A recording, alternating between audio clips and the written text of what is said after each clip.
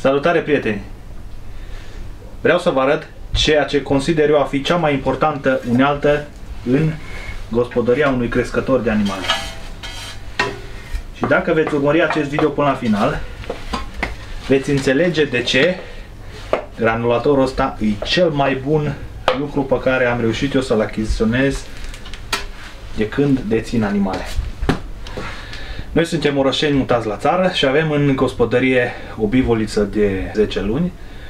Ehm, avem câteva capre, vreo 15, avem niște porci, găini ehm, și ocazional curcani peste vară, păsări. Ehm, Pui de carne. Pui de carne, etc. Dar alea sunt păsări pe care le cumpărăm sezonier doar vara. Avem și niște găini pentru ouă. Și video ăsta este despre unealta asta care ajută foarte mult la creșterea acestor animale. Un animal care mănâncă furaj granulat va asimila cel puțin cu 30% mai mult din hrana respectivă. Și o să vă vorbesc despre procesul de granulare pe care eu am început să-l dezvolt în garajul nostru. Hai să începem cu granulatorul. Dacă n-ați mai văzut granulator, vi-l prezint eu ca să știți cum arată. Granulatorul este pus în mișcare de acest motor de 2,8 kW printr-un braț direct care, aici avem un reductor care învârte o sită peste care sunt aplicate aceste role. Să văd dacă reușesc să vă arăt sita. Ia să vede sita acolo. Și prin sita aia practic, care e de dimensiunea asta, se împinge furajele, cerealele în jos.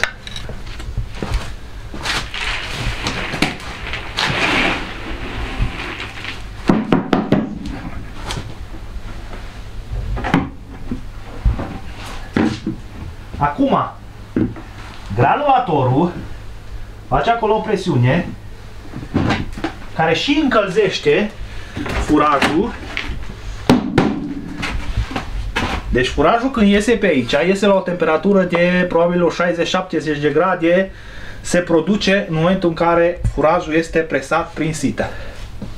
Și cu fiecare găleată pe care eu o macin, un tint beton cu o grosime de aproximativ 3-4 cm și în aproximativ 15-20 de minute furajele au timp să se răcească și cum am gândit eu procesul ăsta, încep de acolo de la poarta de la garaj și vin încoace. Pă când ajung aici cu gălețile, deja ăla e rece și pot să încep să-l uh, încarc în saci.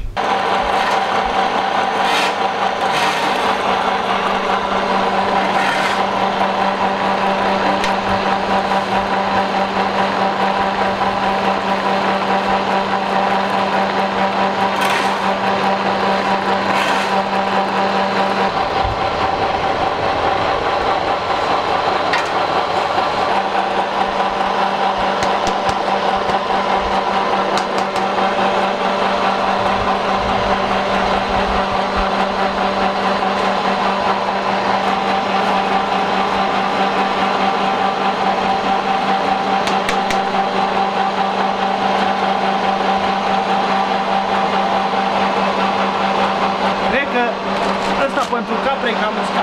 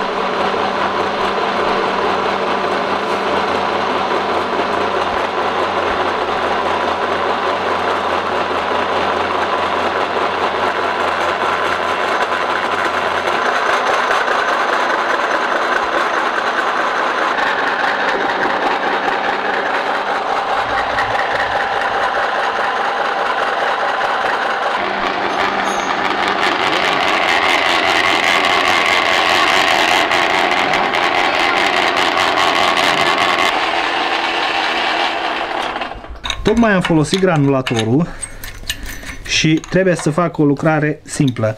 În momentul când pornim granulatorul, trebuie strânse și reglate aceste role să strângă un pic pe sita aia de jos. Nu foarte tare, dar suficient cât să împingă cerealele prin sită pe acest locaș, făgaș. Dar, foarte important, după folosirea granulatorului, să nu se lase rola strânsă pe sită. Pentru că i-am făcut odată așa, sau am strâns-o prea tare la început și trebuie să, o trebuie să schimb axul de la role. Axul ăsta a trebuit să-l schimb pentru că s-a rupt. Și am mai avut de umbla pe la strungar, să mă rog de el să-mi facă alt ax.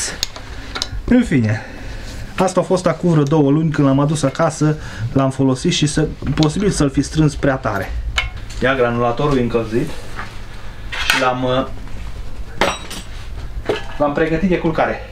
Acum, cred că ne-am înțeles. Prin presare, temperatura de 70 de grade aproximativ, cerealele se produc și un foarte mare avantaj pe care îl prezintă procedura asta, procesul ăsta, este faptul că eu am avut acolo în uh, camera de păstrare niște porumb și niște orz vechi pot să zic foarte vechi, că e de cel puțin un an jumate acolo și a început să mucegească o parte din el. Asta ce înseamnă? Eu nu o să dau furajul ăsta la capre, dar prin granulare, fiind tratat la 70 de grade, mucegaiul și orice dăunători care ar putea să fie în cerealele alea care nu sunt de cea mai bună calitate, se distrug și se neutralizează. Eu, ca să le dau gust mai bun, am pus și niște sare pentru purcei, am mai amestecat niște porumb uh, recent cumpărat și ăsta este rezultatul. De aia am aici porc lot 1. Pentru că eu ce am făcut? Vreau să le cresc rația de orz la porci. Un procent mai mare de orz în amestecul de cereale în hrana porcilor, mai multă proteină și ajută porcul să se dezvolte mai bine, mai ales carnea. Porumbul, din ce știm, uh, produce slănină, grăsime pe porc și carne, dar orzul produce o carne de, mai de calitate și un spor mai crescut, mai ridicat al cărnii pe porcul în creștere. Și acum, ca să nu mă încurc eu, îmi tot scriu aici pentru că am aici diverse amestecuri, continuăm video și veți înțelege. Ăsta e lotul 2. Pentru că nu poți să adaugi orz foarte mult din prima la porc. Eu ce am făcut aici? Aici am undeva la 70% porumb, estimativ, și 30% orz. Aici deja am cam 55% porumb și undeva la 45% orz. Deci asta e lotul 1 pe care îl voi introduce de mâine la porci și ăsta e lotul 2. După ce să termină acești doi saci din lotul 1, mergem la lotul 2 cu mai mult orz în amestec. De ce nu poți să le bagi direct cât orz? Pentru că se pot bloca și nu le, nu le pică bine la stomac dacă le introduci orz în cantitate dintr-o mare dată. dintr-o dată. Uh-huh. Asta e treaba cu, cu cu porcii și am fost foarte răbdător să încurăț acolo camera aia, să scot furajele alea vechi, uh, să-mi eliberez, pentru că mi-au venit furaje noi pentru capre. Deocamdată, pentru că acolo a fost dezastru, sacii mei stau în garaj și mă cam îngrămădesc la ce am de făcut. Continuăm. Cu acest granulator producem o hrană mai de calitate și pentru capre.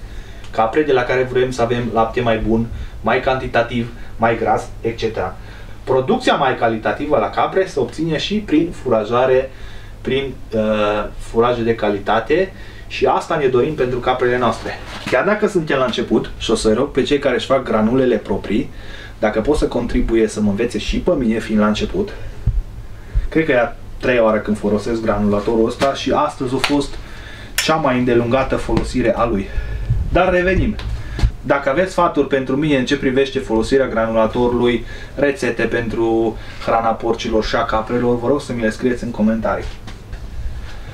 Avem aici furaj de calitate pe care l-am uh, comandat de la cineva, mi l-a dus direct măcinat și eu, din neștiință, l-am rugat pe om să-mi facă procentele sau compoziția următoare. I-am zis la om, faceți în cel puțin 40% porumb, 40% orz și 20% floarea soarelui. Ceea ce am aflat astăzi de la Morar că îi cam mult. Însă, datorită faptului că floarea soarelui are cam 3 lei prețul pe kilogram în momentul de față, mă îndoiesc că omul ăsta a pus în uh, furajul care mi l-a dus mie cu 2 lei măcinat acasă, a pus uh, 20% floarea soarelui. Trag concluzia asta și datorită faptului că furajul ăsta nu e foarte negricios. Hai să desfacem, că totuși poate, poate din comentariile voastre o să vă lămuresc și eu dacă are sau nu are 20% de floarea soarelui. Momentan mi-am comandat 600 de kilograme și eu văd un furaj de calitate, însă o să vă spun ce mai adaug eu la el pentru hrana caprelor. Și video ăsta o să fie destul de lung, s-ar putea să îmbunătățesc această rețetă, dar după cum văd eu, după cum am văzut eu culoarea porumbului cu orz, ă, în amestecul meu ce-l făceam până acum, ăsta cam arată a porumb cu orz, cu excepția că mai are și un cât?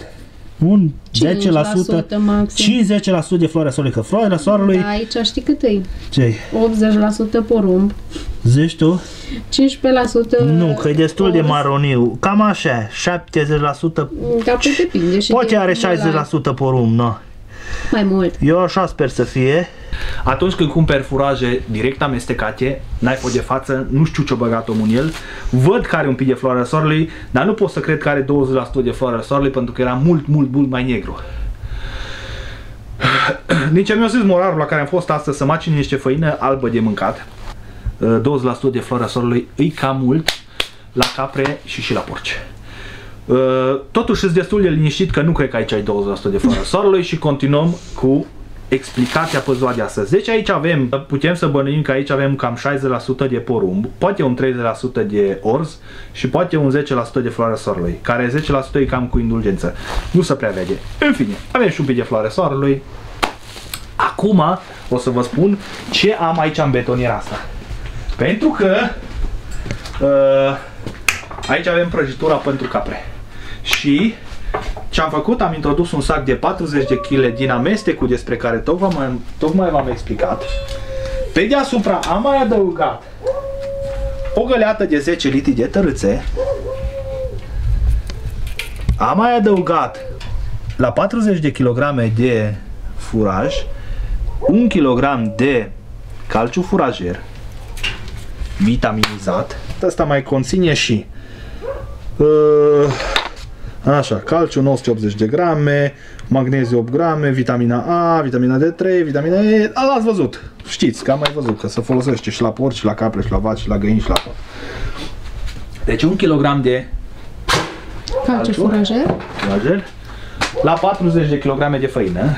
Eu mă te repet că din Ardeal și la noi astăzi chiar bag viteză cu vorbele.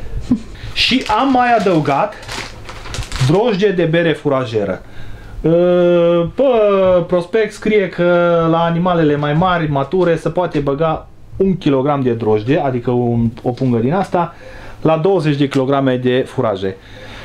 La iezi se bagă 1 kg la 40 de kg de furaje și eu asta am făcut. Fiind prima dată când le introduc uh, drojdea de bere furajeră, 1 kg la 40 de kg de furaje. E mai mult de 40 că am mai băgat o găleată de tărâță, în fine. 45 de furaje, că tărâța e ușoară. Asta e rețeta de prăjitură pe care o dau la capre. Uh, am observat că le place foarte mult și revenim la faptul și avantajul cel mai mare de a da furaje granulate animalelor este faptul că ele asimilează mult mai bine uh, furajele și se bucură mai bine de el. Uh, caprele noastre unele mănâncă mai cu saț, altele înghit, altele apucă și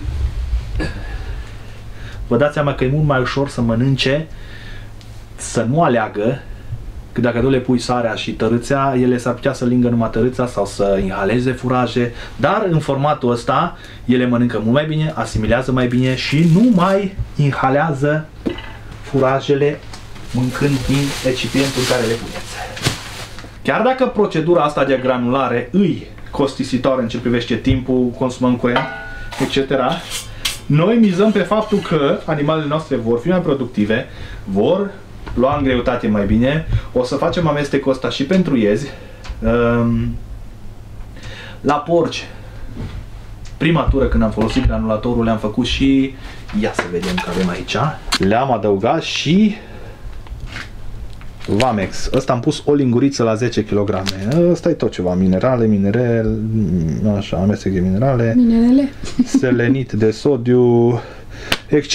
Vamex, pulbere solubilă pentru păsări. Dar doamna mi l-a recomandat pentru porci. Așa. Am început să ne facem propriile premixuri, așa, un hibrid de premix, pentru că, după cum ați înțeles, cumpărăm furaje, dar suntem la început și vrem să îmbunătățim hrana caprelor. Din păcate, noi cu fânul suntem deficitari. Astăzi am trecut în târg și mi-am cumpărat și niște sămânță de ghizdei acolo pe partea aia de din jos de fântână unde știți că am arat. Cei care urmăriți canalul, dacă n-ați urmărit canalul Orășan la țară, abonați-vă din momentul ăsta pentru că noi suntem orășeni și facem lucrurile un pic diferit. Nu suntem chiar țărani, am, poate că de 10 ani de când stăm la țară putem zice că suntem și țărani, dar veți vedea lucrurile interesante dacă vă abonați la canalul nostru. Foarte important să activați clopoțelul, foarte important și la acest video și la fiecare video să ne lăsați părerea voastră în comentarii pentru că ajutați în felul ăsta algoritmul să ne recomande mai departe altor oameni care sunt interesați de viața la țară. Și cam ăsta e video de astăzi, sperăm că v-a plăcut. Uh, soția mea Andreea ea filmează, suntem așa o chestie mică de familie. Poate că de anul ăsta vom face doar YouTube și ce producem din gospodărie, așa că e important să ne ajutați să ajungem la cât mai mulți urmăritori. Uh, am zis că eu sunt Daniel și dacă nu știți cine sunt eu, uitați-vă pe canal că aveți și momente mai bune și mai frumoase și mai triste. Dar noi filmăm cam tot ce ni se pare interesant și aproape tot ce putem să filmăm din ce facem noi la țară. Foarte important, lăsați-ne comentariu, distribuiți, avem și butonul de alăturete dacă vreți să susțineți acest canal, avem deja câțiva care ne susțin și apreciem foarte mult și avem nevoie de mai mulți. De ce nu? Alăturați-vă acestui canal și uh, în primul rând o să ne ajutați pe noi să facem conținut mai de calitate pentru că avem nevoie de utilaje, de scule pentru a face treaba asta și va urma un concurs foarte, foarte important. Anul trecut am dat o eduță unui băiat din Mureș, uh, o eduță foarte frumoasă crescută de noi vreo 9 luni, deci nu a fost așa, numai așa. Și aveți video pe canal dacă vreți să căutați treaba asta să investigați.